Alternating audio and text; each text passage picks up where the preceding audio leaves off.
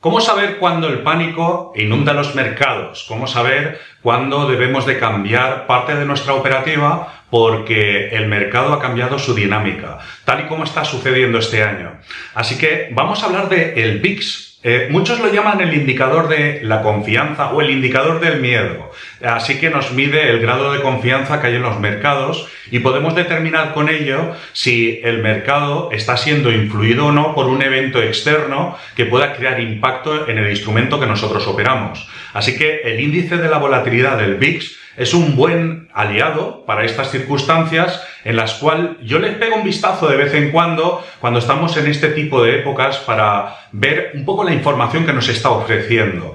¿Os puede resultar muy útil este indicador? Tal y como yo le hago este uso sencillo, es básico, todo el mundo lo puede poner en marcha y pegarle un vistazo de vez en cuando. Os vamos a mostrar un extracto de la grabación hecha en una de las sesiones de la comunidad de Armaga FX sesiones que hacemos para los que han sido alumnos nuestros, en los cuales pues, eh, pues tratamos de hacer sesiones de trading, sesiones en las cuales podamos daros algunos datos de información relevante, información de formación continua, en los que eh, buscamos que todos los traders que se han formado con nosotros puedan tener una información adicional para tener una operativa más estable a medio largo plazo. De este modo, tratamos de aportar valor y si tú has sido alumno, recuerda que puedes ponerte en contacto con nosotros para que te apuntemos a la lista, para que de ese modo puedas asistir y puedas venir y participar con nosotros y te vayamos dando información, como te he dicho, de valor. Vamos a ver el extracto de esta grabación y de este modo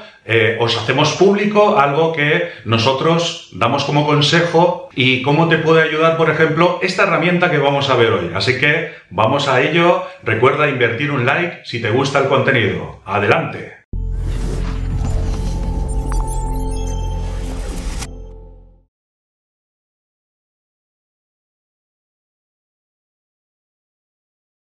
Si os parece bien, vamos con el, con el VIX. Eh, Claudio, te, doy, te dejo el micro ah, y, vamos directamente, nos metemos eh, de lleno con, con VIX.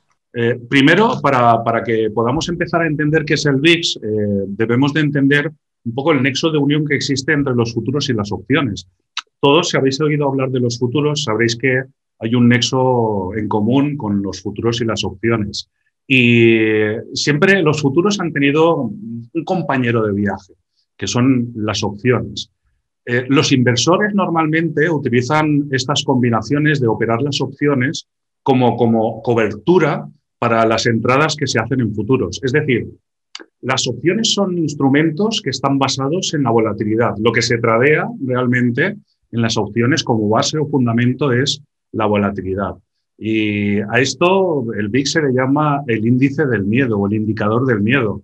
Eh, ¿Por qué puede ser una buena herramienta eh, este indicador del VIX y eh, por qué se le refiere al miedo? ¿no? digamos que sería el índice de confianza. en épocas como la que estamos teniendo este año, épocas en las que podamos prever inestabilidad en los mercados, el VIX puede ser un buen compañero de viaje y ahí es cuando yo lo empiezo a poner en marcha. Es decir, yo lo que contemplo son movimientos importantes en el VIX hacia una dirección en las cuales eh, me están diciendo que está creciendo la volatilidad. Cuanta más volatilidad hay dentro de un mercado, más, inestabilidad, más incertidumbre también, por cierto. Eh, entonces, eh, sabiendo que podemos aproximarnos a una época de inestabilidad, que ya lo estamos, ¿no? A causa del bicho este que tenemos, pero es que ahora se nos juntan dos ingredientes que son bastante potentes, que uno es el bicho, que ya tenemos bastante inestabilidad, pero por otro lado se nos acerca noviembre y es la época de las elecciones. Eh, pues vamos a empezar a saber eh, qué mide el VIX, ¿no? Y para ellos comparto esta página, es la página de la CBOE, es la página oficial, y eh, empecemos a coger este VIX y a saber cómo trabaja y por qué trabaja de este modo. Eh, aquí está incluso la fórmula eh, con la que trabaja el VIX. Imagino eh, que todos conocéis aquí la fórmula, sabéis cómo trabaja, ¿no? es una fórmula bastante sencilla, así, a simple ojo, pero para que me entendáis, esta fórmula compleja, sí, muy simplona, ¿verdad, Juan? esta fórmula tan sencilla para que lo entendáis de una forma más simplificada, lo que mide es la cantidad de inversión que se está llevando a cabo en opciones. Eh, entonces, ¿por qué puede ser importante este dato? Es decir, este dato que tenemos aquí, ¿por qué puede ser importante? Porque imaginemos, vamos a hacer un supuesto, imaginemos que un gran inversor, X, el que sea, está pensando, está analizando la situación macroeconómica, etcétera, etcétera, y este gran operador pues dice que o tiene una hipótesis manejando de que el mercado va a caer. Es decir, eh, por lo que estoy viendo yo, estoy viendo que me está llegando información de que el mercado va a caer. Eh, entonces, eh, ¿qué hace este gran operador? ¿Cuál es su función? pues aplicar una cobertura con las opciones para protegerse de las inversiones hechas en futuros. Es decir, este gran inversor puede no hacer nada y ver cómo el mercado cae o puede utilizar esta herramienta de las opciones como cobertura para que eh, pueda intentar aliviar un poco esas posiciones en el caso de que la hipótesis que tiene de que el mercado va a caer eh, se lleve a cabo. Entonces, él sabe que puede usar este instrumento, las opciones, es un instrumento derivado para poder protegerse de esa caída. Es decir, para aliviar esas posiciones, que tengan un menor riesgo si el mercado está validando esa hipótesis de caída. Vale, entonces, lo que nos muestra el VIX, lo que nos está indicando el VIX, es que varios inversores están tomando esta decisión de cubrirse con las opciones, porque están teniendo la misma hipótesis, que el mercado va a caer. Y esto provoca que los precios de las opciones aumenten. Y con ello, la fórmula que nos muestra el VIX, vemos que crece o decrece en, función de estos valores. Entonces, cuando el VIX nos está mostrando valores muy elevados, por eso se le dice el índice del miedo o el índice del pánico, es porque muchos inversores están nerviosos con esas posiciones y están tomando esta salida, esta cobertura para cubrir las posiciones. Entonces, cuando nosotros pongamos el VIX en pantalla, eh, este indicador de la volatilidad, lo que estaremos haciendo igual o a analizar lo que sería una psicología de masas. Cuanto más inversores toman esta decisión de estar invirtiendo en las opciones, más también están tratando de cubrirse. Eh, bueno, os dejo también esta página, os la paso por el chat para que podáis investigar un poco vosotros por nuestra por vuestra cuenta, si lo tenéis, ¿vale? Eh, es la página oficial de la CBOE. Eh, no, no, no, tiene ningún secreto, pero lo paso por el chat porque aquí hay bastantes puntos interesantes en los que detalla pues, eh, qué es el índice de la volatilidad, cómo se calcula, etcétera, etcétera. Hay datos bastante interesantes. Pero bien, cerramos esta parte y os he traído, por ejemplo, la sesión de hoy y vais a ver que el VIX normalmente eh, en este caso estamos trabajando con el de la CBOE. Hay un VIX específico para los futuros del mini SP, pero eh, podéis ver, por ejemplo, izquierda el VIX, derecha el futuro del ES. Son dos gráficos, no tienen ningún indicador de volumen, ¿vale? Para que podáis ver un poco cómo lleva esa correlación inversa el instrumento eh, del VIX, este índice, inversa con el ES. Es decir, cuando crece el miedo, cuando crece este pánico, y está aumentando eh, su valor o su, proporción, eh, lo que hace es que el ES sufre pues, esa caída. Ese momento de pánico siempre lo acompaña la caída. Eh, cuando este índice está cayendo, genera, está generándose confianza, por lo que su correlación inversa con el ES, es decir, va al revés. Su correlación inversa lo que hace es trabajar al revés. Os he marcado unos puntos que son las zonas que yo trabajo en un gráfico más macro. Eh, este es un gráfico donde estamos viendo puntos más macro y eh, como una herramienta en la que podemos analizar masas, eh, tenemos varias referencias que podemos utilizar donde poder trabajar con ellas y os voy a dar unos cuantos datos que son los que yo principalmente trabajo, en los que me dicen cómo se encuentra el mercado a más largo plazo. Lo tengo con gráfico de un día, puedo ponerlo en gráfico de una hora, eh, pero me interesa que podamos ver un poco más ese sentimiento macro. Empezamos a pasar, os lo he dibujado como si fuese un semáforo, ¿no? Y entender estos valores. Es decir, Cuando eh, el índice VIX se encuentra aquí en un valor de 10-20, ¿vale? Podemos decir que la confianza en el mercado es buena. Es decir, que los inversores no están tomando este recurso de estar haciendo coberturas dentro del mercado de opciones, por lo que se sienten eh, confiados de sus inversiones. No hay nadie nervioso. Eh, entonces, nos da una estabilidad dentro del mercado. En cambio, cuando esta franja, eh, este es el punto donde más confianza hay, donde estamos tranquilos, luego se ha marcado una franja que es esta dentro del semáforo en la que deberíamos de estar alerta. Es decir, ¿qué sucede cuando estamos dentro de esta franja naranja? Pues que está creciendo el pánico. Es decir, que está habiendo un momento de inestabilidad dentro del gráfico.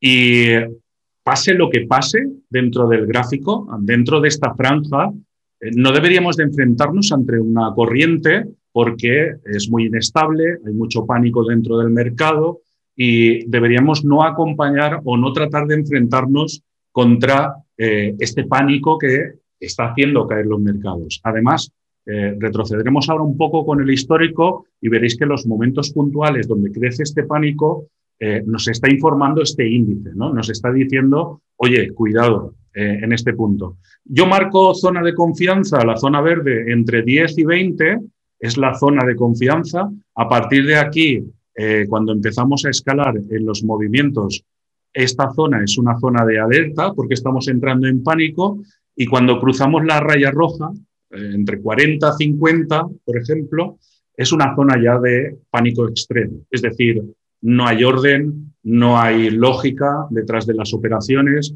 muchos movimientos aleatorios. Es más, en estos puntos donde nosotros vemos que crece este pánico, es cuando vemos que se para la bolsa porque está cayendo demasiado, porque se alcanzan cuotas demasiado agresivas.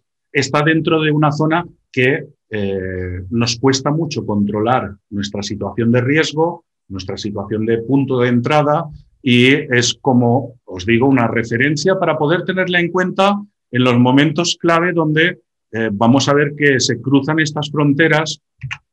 Fijaros en los puntos donde eh, alcanzamos a cruzar estos, estos niveles, ¿no? estos niveles que podemos decir del semáforo, son zonas en las que eh, podemos destruir una cuenta con un par de operaciones mal hechas. Son zonas en las que si no extremamos nuestra prudencia, eh, cuando estamos realizando nuestro trading, eh, podemos cometer estupideces, podemos hacer cosas en las cuales nos lleven a un punto en el que nos sea muy difícil retornar.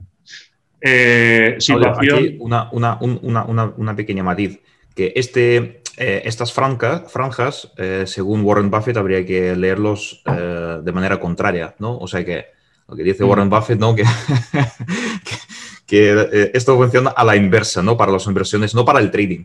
Sí. no para el trading, sino para inversiones a largo plazo funciona al revés, ¿no? Mm, de hecho, una de las frases, ahora que mencionas a Warren Buffett, una de las frases típicas que comenta este señor se basan en tradear esta información comprar el pánico, vender, vender la euforia. Es decir, eh, compramos el pánico y vendemos la euforia. Esto, comprar el pánico, estaríamos comprando en zonas donde están los extremos, donde vemos que alcanzan esas cuotas extremas, buscando ese largo placista, ¿no? Y tratar de vender en las zonas donde se genera la confianza o la euforia dentro de estos movimientos. Eh, estos, dos picos, 2018, ¿no? El pico que tienes marcado y el segundo, eh, el arranque de la pandemia. Este correcto. en la zona roja. Exacto. Que concuerda, eh, que concuerda, si miramos ahora el mini SP500, ¿no? Con dos correcciones más profundas que ha tenido el índice en los últimos 10 años y que han sido los mejores puntos de, para los inversores más a largo plazo de, de comprar. Así es está aplicado el VIX, eh, normalmente se trabaja con, el ES, el mini SP500, porque sigue esa correlación inversa, pero se he traído otros índices eh, que estudian la volatilidad para que podáis aplicarlo en otros instrumentos, como por ejemplo el crudo. Eh, sí, existe índice de volatilidad para el crudo, existe índice de volatilidad para casi todos los instrumentos que hay en el mercado, eh, porque tienen su parte de opciones con las que se puede trabajar. Y para ello os traigo el crudo. Este es eh, el OVX, estas son sus siglas, OVX. Eh, todo lo tenéis dentro de la CBOE, quiero decir, toda la información la tenéis en la página oficial, en la fuente de esta información. El OVX se basa en el FT y el crude oil.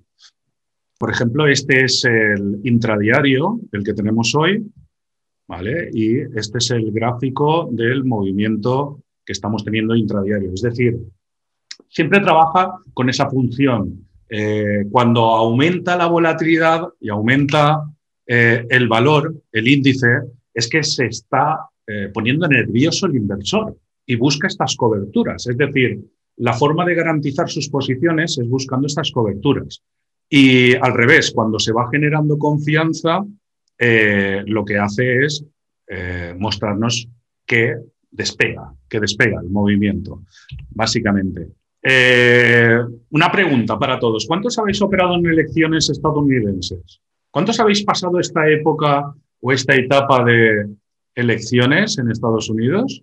Veo que hay pocas personas que han, operado anteriormente en elecciones. ¿Cómo, ¿Cómo, creéis que serán los movimientos del precio en época de elecciones? Eh, ¿Plácidos? Es decir, ¿vamos a tener movimientos plácidos o vamos a ver volatilidad, inestabilidad? ¿Vamos a ver eh, indecisión, movimientos como, por ejemplo, la sesión de hoy? Vertiginosos, Irene, así es, inestabilidad, locura, Con Trump en Twitter no puede ser tranquilos, dice Juan. Muy inestable, ¿a que sí? Vale, vamos a sentar un precedente de las anteriores elecciones y os puedo decir algo al respecto que, mm, por ejemplo, eh, un mes antes de las elecciones empezó a crecer la volatilidad. Eh, por ejemplo, cuando estuvo el tema de las anteriores elecciones. Empezó a crecer un mes antes.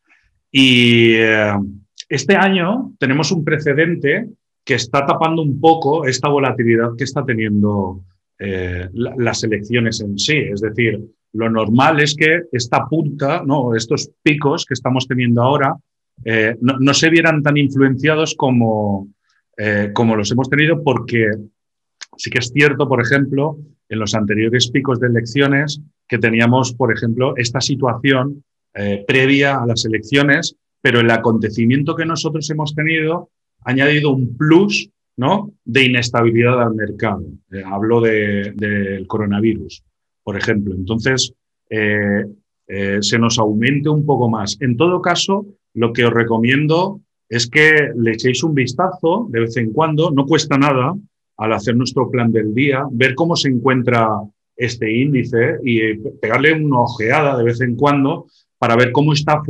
funcionando la psicología eh, de otros inversores eh, en pro de poder decidir tomar nuestras operaciones y actuar en consecuencia a lo que os van diciendo los gráficos.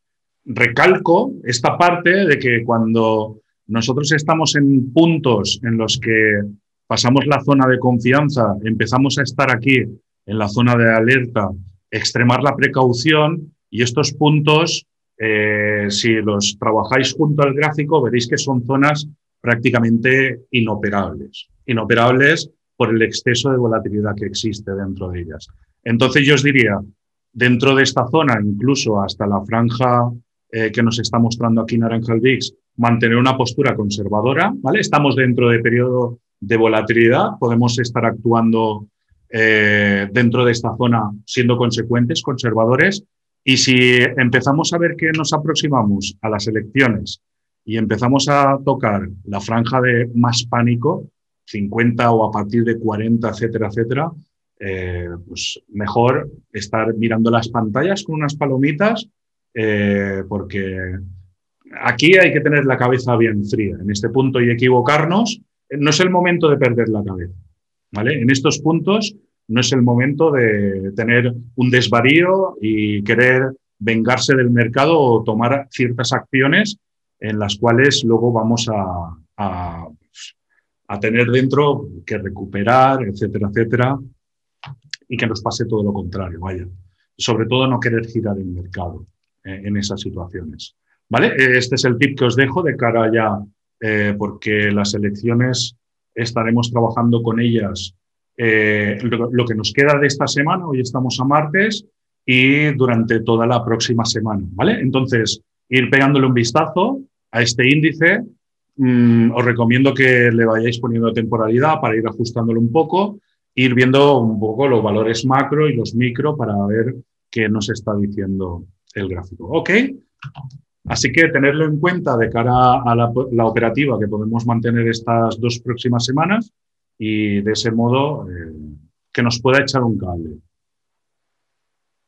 Ok, Tony, de nada, nada. ¿Me podéis ah. comentar con un, con un 7 por, perdona, eh, con un 7 por el, por el chat si queréis que revisemos, que hablemos más a fondo sobre el tema de invertir más a largo plazo con los ETFs? Esperamos que te haya aportado valor, por eso lo hemos sacado de la comunidad para hacerlo público, para que así eh, puedas tener esta información. Como puedes ver en la grabación, eh, hemos acudido a las fuentes oficiales de esta información y tienes toda la información del vídeo para que tú mismo o tú misma puedas investigar esta información y de este modo puedas entender de una forma más profunda el uso que tiene o que puede tener esta herramienta para tu operativa. Recuerda ese gesto, si te ha gustado el contenido, invierte en un like y suscríbete si no lo has hecho ya. ¿eh? Te dejo un par de contenidos más de nuestro canal para que puedas pegarle un vistazo y de este modo puedas seguir viendo otros contenidos de valor que tenemos publicados. Así que ahí nos tienes. Un saludo de Claudio Alcaraz.